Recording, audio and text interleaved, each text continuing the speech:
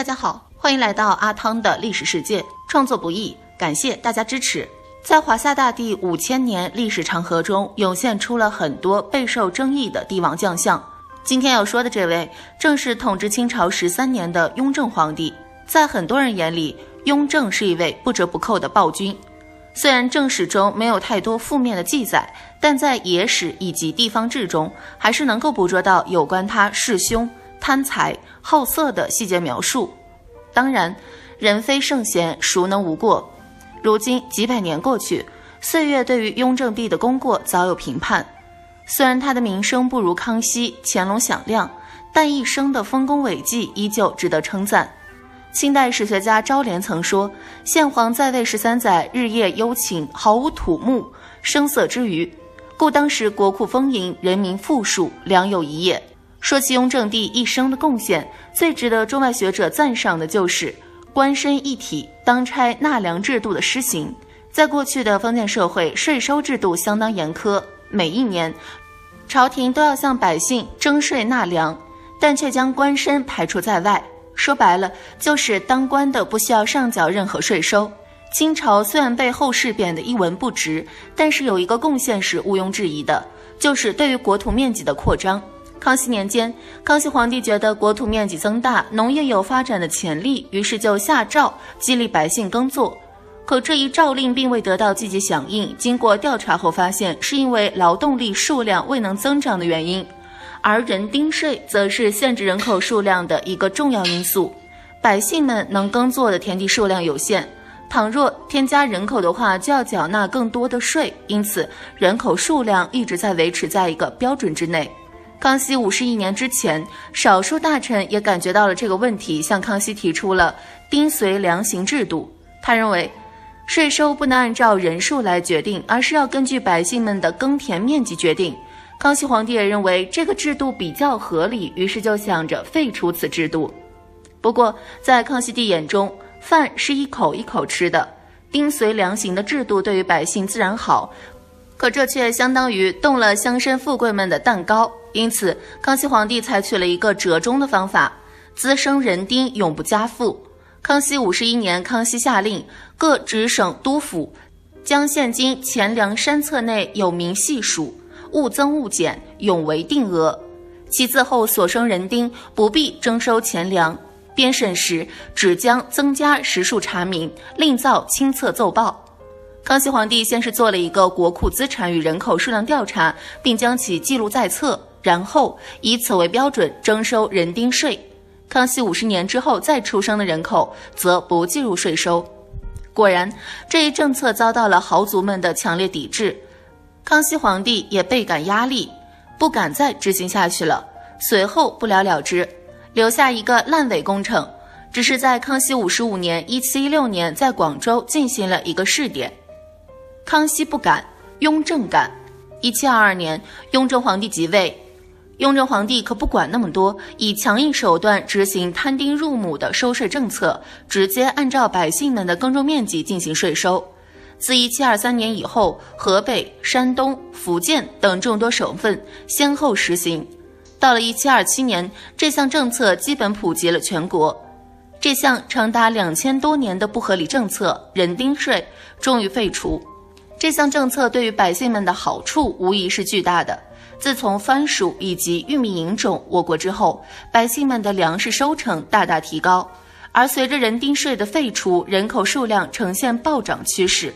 根据《清实录圣祖卷》中的记载，康熙时期的人口数量一直在两千万人左右，期间因为战乱以及众多原因，人口数量一度还出现下降趋势。然而，随着雍正临朝以及摊丁入亩的执行，百姓变得富裕，人口数量直接暴涨。直到乾隆初年，人口数量已经突破了两亿，人口暴涨了十倍。之后也是一路高升，很快进入三亿。而这一切基本都是雍正皇帝的功劳。而另一个辅助原因就是推广了玉米、土豆、红薯等高产农作物。高产作物生长能力极强，田埂、荒山等。不算作耕地面积的地区都能成长。举个例子，清代山东红薯种植面积近乎零，然而乾隆五十年代，山东种番薯一亩种数十担，胜古朴二十倍。道光年间，莱州府荣成县种植番薯，当地人民达到了日食长佐的程度。当时有“田家饭菜一半”的谚语。很多算作水稻、小麦种植的地区，同时也在生产大量高产作物。清朝时期，甘薯的传播速度更快。除山西、甘肃两省之外，其他各省在清初一百多年间，亦即一七九八年之前，先后引进甘薯，并很快成为主要粮食作物之一。在一些地区流传着“一季红薯半年粮”的谚语。由于甘薯的产量高，适应性强，所以迅速得到推广，并为人口的增长提供了食物保证。西北山区人民人均耗粮比东部低。由于粮食匮乏，西北山区是高产作物广泛推广的地区，粮食浪费也远小于粮食充裕的东部沿海。同时，人们更能忍饥挨饿，食量也偏小。高产作物在西部的大规模推广，使得西部大量本来无法种植粮食的荒山野岭得以进入人口，极大促进了人口生活区域的增长和人口增长。高产作物传入明朝，主要是福建沿海，确实解决了福建山区的一些粮食匮乏。然而，东部本身远不如西部缺粮。中国这么大，高产作物的广泛传播需要的时间本来就很长。高产作物推广到西部是清朝的事情。以明末高产作物未能解决粮食困境而论证高产作物无用，这也是一种错误的观点。但阳光所到之处，必有暗影相伴。康熙皇帝非常懂得维护自己的名声，他知道笔杆子都掌握在官绅手中，因此人定税的蛋糕，康熙不敢动。而雍正皇帝即位后，却动了这块蛋糕。百姓们虽然欢呼雀跃，可他们没有闲暇时间以及文化基础歌颂带给他们好处的君王，而那些官绅们却有的是时间以及精力。他们集体采用闹事、罢考以及诽谤雍正的手段，来让其知难而退。众多抹黑雍正的野史小说就是这个时期出现的，雍正皇帝也因此落下了无数骂名。反观乾隆皇帝，并没有什么作为，却坐享其成，享受到他老爹带给他的果实。主要的工作就是游山玩水，还落下一个康乾盛世的美名。如此清闲，怎能不长寿？至于雍正，号称最勤政的帝王，在位的十三年时间里，批阅奏折、部本、通本。就达到了三十万件，还留下一千多万字的批注，甚至有些奏折的批注字数上千字，平均下来每天要批注两千字以上。除了文治方面的成就，雍正还做出了另一项壮举，那就是平定西北的准噶尔叛军，并统治西藏。清朝虽然统治中原百年之久，但一直深受外来力量的侵扰。雍正继位后，为了稳固国家安定，毅然决然向准噶尔与西南土司开战。雍正六年，获得卫藏战争胜利。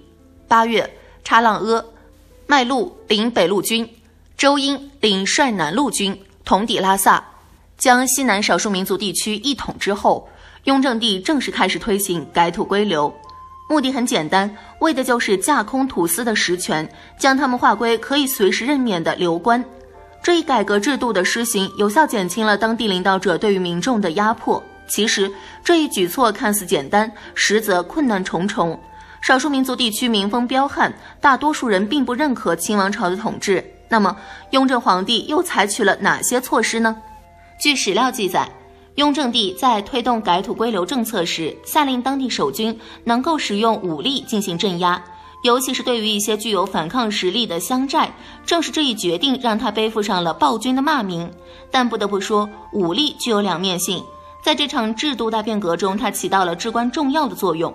除了文治武功方面，雍正帝还大力重用汉族官员，并整治吏治，整顿财政，提倡积极接触西方事物，为民众思想上的开放打下了基础。著名历史学家萧玉山曾这样评价他：世宗刚毅明察，纯系政治家之作风，任法上廉，力道澄清，库藏充裕，海宇易安。扫除数百年来无为之消极思想，社会亦不至停滞而不进矣。可见，古代中的任何一位帝王，后世在对他进行评价时都是褒贬不一。雍正皇帝虽然缺点很多，但他对后世做出的贡献不应该被埋没在历史长河之中。